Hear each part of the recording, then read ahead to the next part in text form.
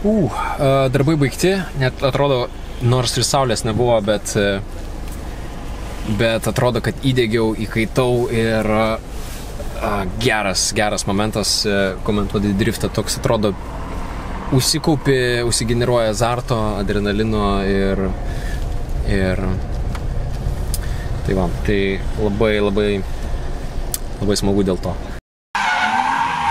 Aš esu drifte, nes mes su drifte.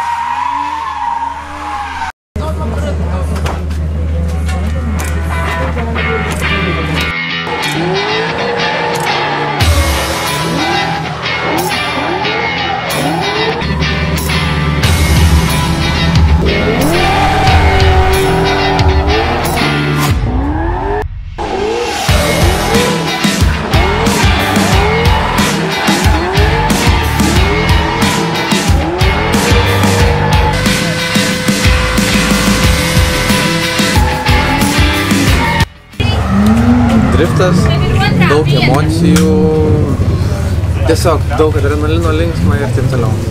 Su šiuo automobiliu startuoju, nes turiu daugiau galimybių važiavimo, pačiame važiavime tiesiog.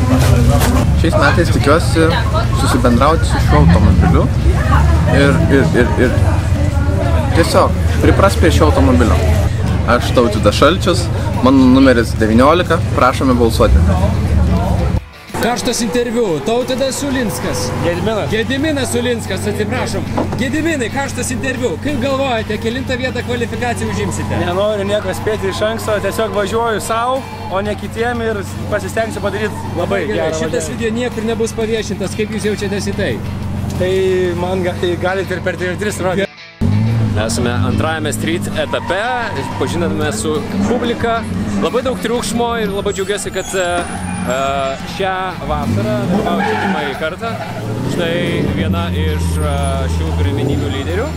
e, Indrė Stonkutė, važiuojanti su labai prašmatniu BV klasės automobiliu. Apie detalės labai nesiplėsim, bet e, komentuosiu portinius važiavimus.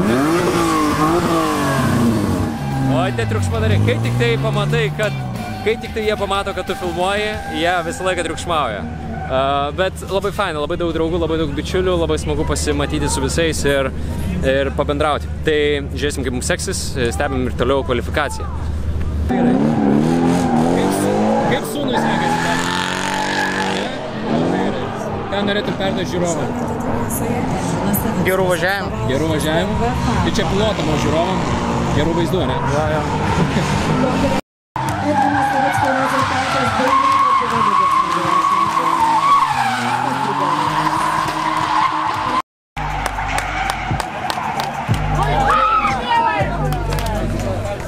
Džiugu matyti, kaip sportininkai greitai prisitaiko prie kintančių Jeigu jums reikia kažką pakavot, tai yra Simas Kvietkauskas. Sveikučiai, sveikučiai, kaip tik šį mėnesį turim ir nuolaidos kodą, tai galite parašyti demutis ir suteiksim 25 procentų nuolaidą, bet kokiam mediniam karstui žoliniam. Va būtent.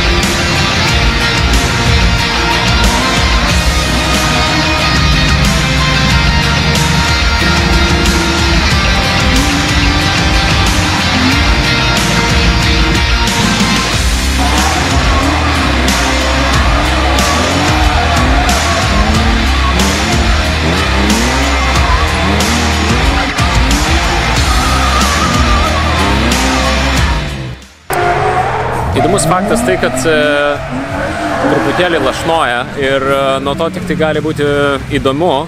Kita vertus, gal ne per geriausiai turėtų jaustis tie, kurie galbūt dar tik tai važiuos savo a, pirmąjį skaitinį važiavimą kvalifikacijoje. Per porinius važiavimus mes pabandysime pakalbėti įsameu, o kol kas šiaip visai nebloga atmosfera. Visi pasiruošę visai neblogai ir žiūrėsim, kaip jiems seksis toliau. Šiaip visi tokie optimistiškai nusiteikę, žiūrėsim, kas bus, kas bus toliau iš esmės. Tai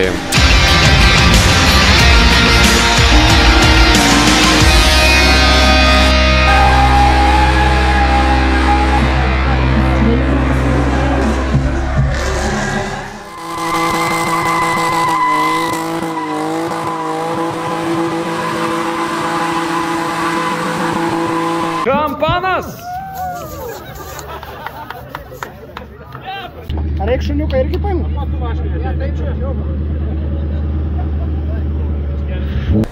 Ir a, noriu Jūs pakviesti jau Liepos 1-2 dienomis į Alytų. Ten vyks taipogi drifto renginys. Pasimatysim, pakalbėsim, pašauksim už savo mėgstamiausius drifto pilotus.